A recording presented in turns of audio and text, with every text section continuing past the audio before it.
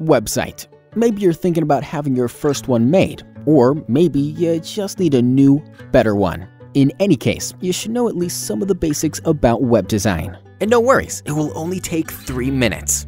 First of all, let's face it, a website is the core of your online marketing activities. If you look at all the marketing channels and techniques, what they actually do is bring visitors to your website. And the main purpose of a website is turning these visitors into customers. In marketing terms, this is called conversion. A bad website will basically cause you to waste money on other marketing methods because you don't need more visitors if you can't turn them into customers. So the better your website is, the more visitors are converted into your customers. And it doesn't really matter whether you sell consumer products online, provide local services, or build houses. Many people in the industry call themselves web designers, but they really are just a bunch of geeks with some basic coding knowledge. Of course, without much planning, they will pretty quickly create a website for you with lots of information, photos, contacts. But the question is, is that the way to turn the visitors into your customers? Is that what you need? And the answer is simple no. What you have to do is look for someone serious about web design. Well, that's where we come in.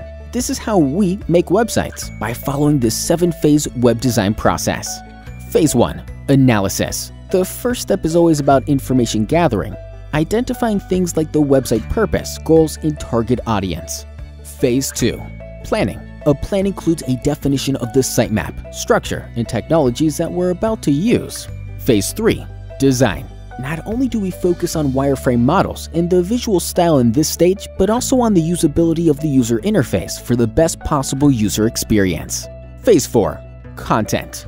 A very important part of the process is choosing the right text, photos, or videos, all optimized not only for your visitors, but also for search engines.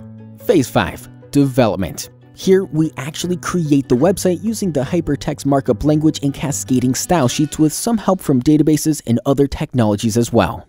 If needed, our websites can be made accessible to mobile devices too.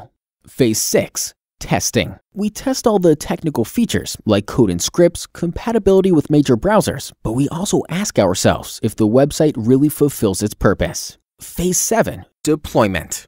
After we launch the site, our job is definitely not done yet. We always monitor what's happening after the start, enabling us to fix any possible deficiencies. And if you want, we can also manage the future maintenance and updates for you. As you have just seen, web design is a very complex process, but we believe this is how websites should be done, and our customers agree.